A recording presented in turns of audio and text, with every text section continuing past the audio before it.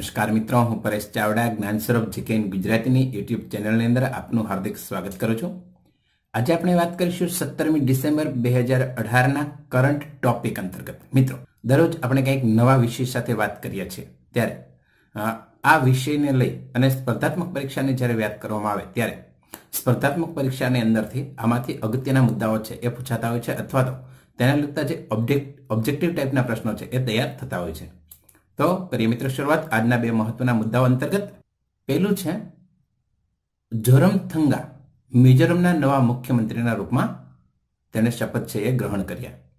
તો Mizo national front, જેને MNF તરીકે ઓળખાય છે, એના અધ્યક્ષ જોરમથંગા મિઝોરમના નવા મુખ્યમંત્રી બન્યા છે.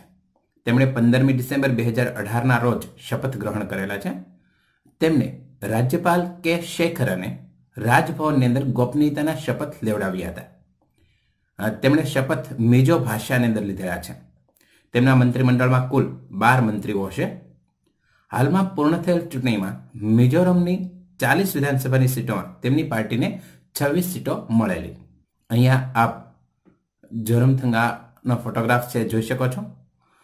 તેના વિશે વધારે વાત જાણીએ તો તેમનો જન્મ તેરમી જુલાઈ ઓગણીસો ચુમ્માલીસના રોજ થયેલો. તેઓ મિઝો નેશનલ ફ્રન્ટના અધ્યક્ષ છે.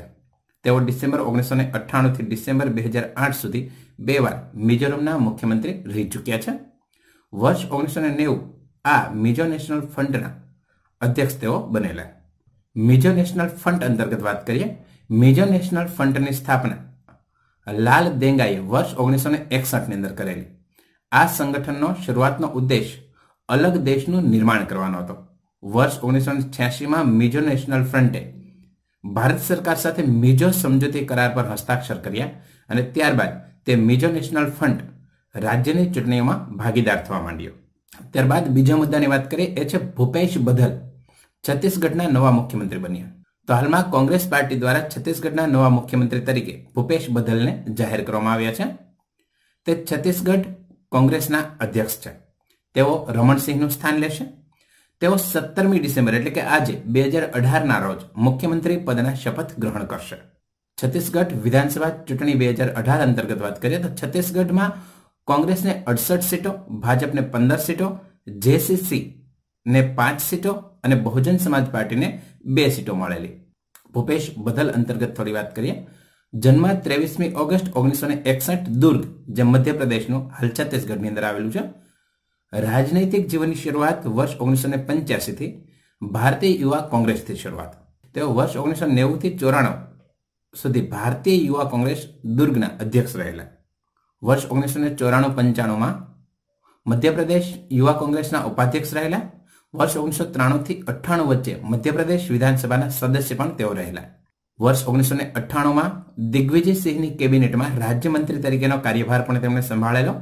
નવેમ્બર બે હજારની અંદર છત્તીસગઢના નિર્માણ બાદ તેઓ છત્તીસગઢ વિધાનસભાના સદસ્ય બનેલા. વર્ષ બે હજાર ત્રણથી બે હજાર આઠ સુધી છત્તીસગઢ વિધાનસભાના વિપક્ષના પદ પર પણ તેઓ રહી ચૂક્યા છે. તો મિત્રો, કેવો લાગ્યો આપને આ કરંટ ટોપિક અંતર્ગત વીડિયો જો આપને આ વીડિયો ગમ્યો હોય, તો જરૂરથી તેને લાઈક કરો, તેને શેર કરો અને પરીક્ષાની તૈયારી કરતા મિત્રો સુધી આ વીડિયો અવશ્ય પહોંચાડો. આ વીડિયો જોવા બદલ આપનો ખૂબ ખૂબ આભાર. જો મિત્રો આપે અમારી જ્ઞાન સ્વરૂપ જીકે ઇન ગુજરાતી ચેનલને સબસ્ક્રાઇબ ન કરી હોય, તો આજે જ સબસ્ક્રાઇબ કરો. સબસ્ક્રાઇબ કરવા માટે સબસ્ક્રાઇબ બટન ઉપર આપ ક્લિક કરશો. એની બાજુમાં આવેલા બેલ જેવી નિશાની છે, તેના પર ક્લિક કરશો, જેથી કરીને વખતો વખતના મેસેજ આપને મળતા રહેશે આપના ફોનમાં.